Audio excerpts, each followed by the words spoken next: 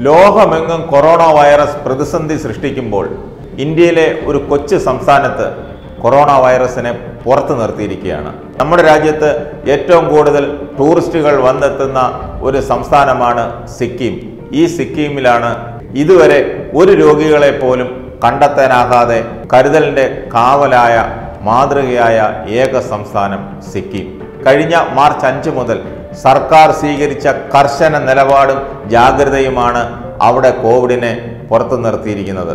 വിനോദസഞ്ചാരത്തിനായി ലോകത്തിന്റെ വിവിധ ഭാഗങ്ങളിൽ നിന്നും ലക്ഷക്കണക്കിന് ആളുകളാണ് സിക്കിമിൽ എത്തുന്നത് ഇങ്ങനെ ലോകത്തിന്റെ വിവിധ ഭാഗങ്ങളിൽ നിന്നും പലതരത്തിലുള്ള ടൂറിസ്റ്റുകൾ എത്തുന്നെങ്കിലും കോവിഡിന് എത്താനായി ഒരു സാഹചര്യം സിക്കിമിൽ ഉണ്ടായിട്ടില്ല കോവിഡിനെ ഇപ്പോഴും പുറത്തു തന്നെ നിർത്തിയിരിക്കുകയാണ് സിക്കിം.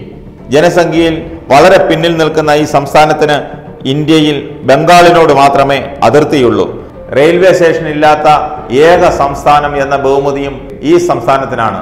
ഇവിടെ ആദ്യ വിമാനത്താവളം വന്നതും രണ്ടായിരത്തി പതിനെട്ടിലാണ് ഈ സംസ്ഥാനവും മറ്റ് രാജ്യങ്ങളുമായും അതായത് മറ്റ് സംസ്ഥാനങ്ങളുമായും ബന്ധപ്പെടാനുള്ള ഏക മാർഗം റോഡ് മാത്രമാണ്. അതും ദേശീയപാത പത്താണ്. കോവിഡിനെ പ്രതിരോധിക്കുന്നതിൽ ഇതൊക്കെ വലിയ ഘടകമായെന്നാണ് വിലയിരുത്തപ്പെടുന്നത്.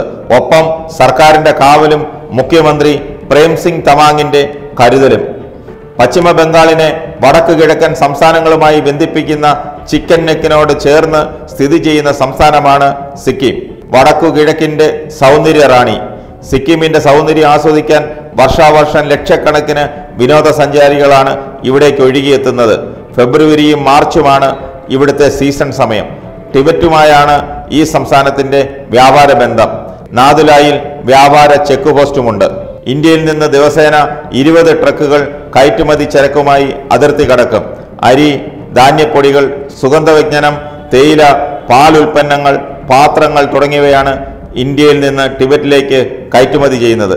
വിനോദസഞ്ചാരികളുടെ വരവ് തടഞ്ഞതും വിദേശ സഞ്ചാരികൾക്ക് പെർമിഷൻ കൊടുക്കാത്തതും കോവിഡ് പ്രതിരോധത്തിന് ഗുണകരമായി. അതേസമയം കേരളത്തിൽ കോവിഡ് പിടിമുറുക്കാൻ സാധ്യതയുള്ളതായി പഠന റിപ്പോർട്ടുകൾ പുറത്തുവരുന്നു. കോവിഡ് വ്യാപനത്തിന്റെ പുതിയ ഘട്ടത്തിൽ സംസ്ഥാനത്ത് ജനിതക മാറ്റം സംഭവിച്ച അതിതീവ്ര വൈറസിന്റെ ആക്രമണം ഉണ്ടായേക്കാമെന്നും കൂടുതൽ പഠനങ്ങൾ വേണമെന്നും അഭിപ്രായമുയർന്നു. മഴ തുടങ്ങിയതോടെ അന്തരീക്ഷോഷ്മാവ് കുറയുന്നതും രോഗവ്യാപനം കൂട്ടിയേക്കാം. ടെസ്റ്റ് കൂട്ടണമെന്നും ചെറിയ ലക്ഷണങ്ങൾ ഉള്ളവരെ പോലും പരിശോധനയ്ക്ക് വിധേയരാക്കണമെന്നുമാണ് വിദഗ്ധ അഭിപ്രായം. വയനാട്ടിൽ ചെന്നൈയിൽ നിന്നും വന്ന ഒരു രോഗിയിൽ നിന്നും പതിനഞ്ച് പേർക്കാണ് രോഗം വ്യാപിച്ചത്. കാസർഗോഡ് മുംബൈയിൽ നിന്നും വന്ന ഒരു രോഗിയിൽ നിന്നും അഞ്ച് പേർക്ക് രോഗം വ്യാപിച്ചു. വൈറസിന് ജനിതക മാറ്റം സംഭവിച്ചിട്ടുണ്ടാകാമെന്നതിലേക്കാണ് ഇത് വിരൽ ചൂണ്ടുന്നത്. കാലാവസ്ഥ മാറുന്നതും വൈറസ് വ്യാപനത്തിന്റെ ആക്കം കൂട്ടിയേക്കാമെന്നാണ് വിദേശ രാജ്യങ്ങളിൽ നിന്നുള്ള പഠനങ്ങൾ സൂചിപ്പിക്കുന്നത്. നിലവിൽ കടുത്ത രോഗലക്ഷണങ്ങൾ മാത്രമുള്ളവരെയാണ് ഇപ്പോൾ പരിശോധനയ്ക്ക് വിധേയരാക്കുന്നത്. കോവിഡ് ടെസ്റ്റുകളിൽ ദേശീയ ശരാശരിയേക്കാളും വളരെ താഴെയാണ് കേരളം. ചെറിയ രോഗലക്ഷണമുള്ളവരെ പരിശോധിക്കേണ്ടെന്നുള്ള മാനദണ്ഡമാണ് മെയ് ആദ്യവാരത്തിൽ രോഗികളുടെ എണ്ണം കുറഞ്ഞതിന് കാരണമായി ചൂണ്ടിക്കാണിക്കപ്പെടുന്നത്.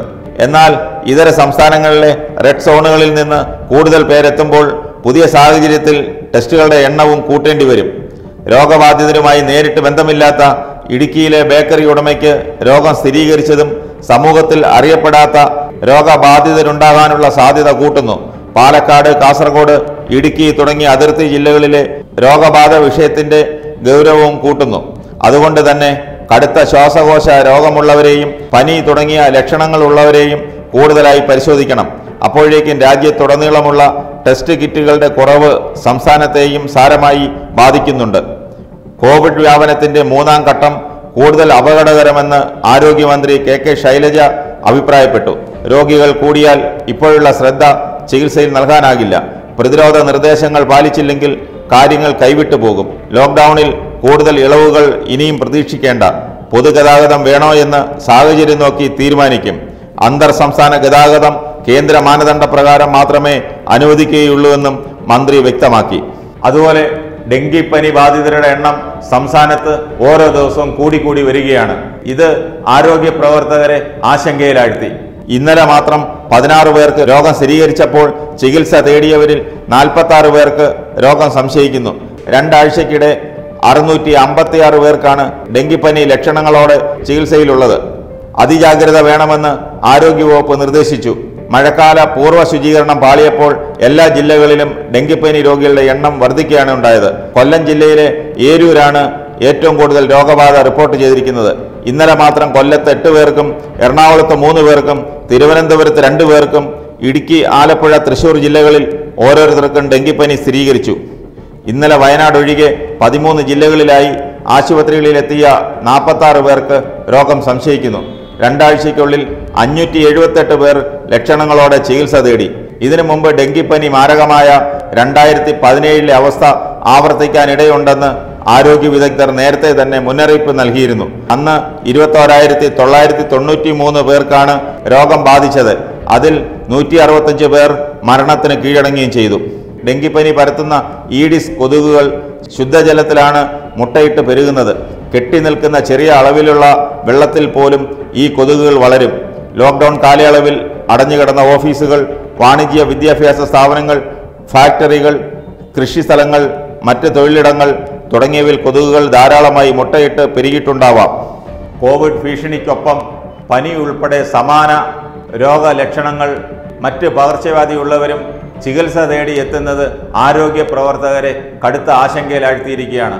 ഇനിയും കൂടുതൽ ഇതുപോലുള്ള വൈറസുകൾ പകരാതിരിക്കാൻ അതായത് കൊറോണ ഡെങ്കിപ്പനി തുടങ്ങിയ വൈറസുകളെ നിയന്ത്രിക്കാൻ ആരോഗ്യ പ്രവർത്തകരുടെ കർശനമായ നിർദ്ദേശങ്ങൾ പാലിച്ചേ പറ്റൂ.